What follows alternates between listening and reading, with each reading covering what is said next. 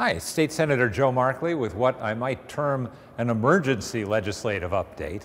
As you may have heard, we're going to go back into session next week to talk about jobs and to talk about the governor's Jackson Laboratories uh, proposal, the $300 million uh, payment to this uh, laboratory to come and locate here in Connecticut.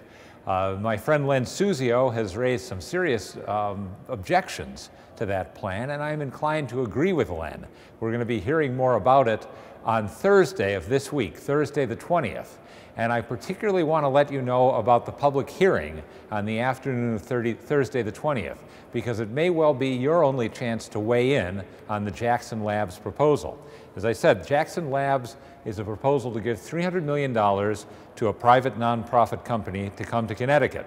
They will guarantee to produce 300 jobs in 10 years.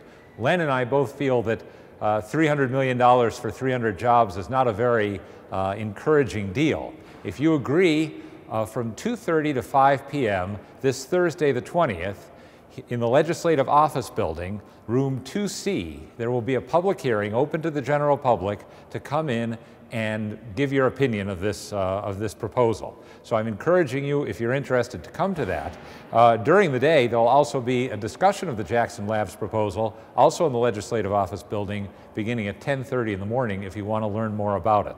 So I wanted to get that word out to you as quickly as possible so you have the chance to weigh in on the Jackson Labs proposal.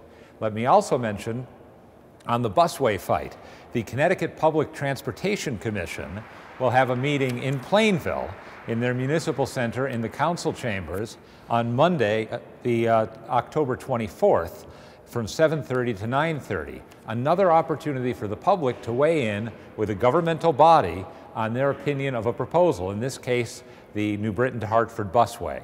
So if you're interested in speaking out against the busway to people who are in a position uh, to make decisions and to weigh in, let me invite you to join us on Monday, October 24th from 7.30 to 9.30. Thanks very much, and I'll be back when I have more to report.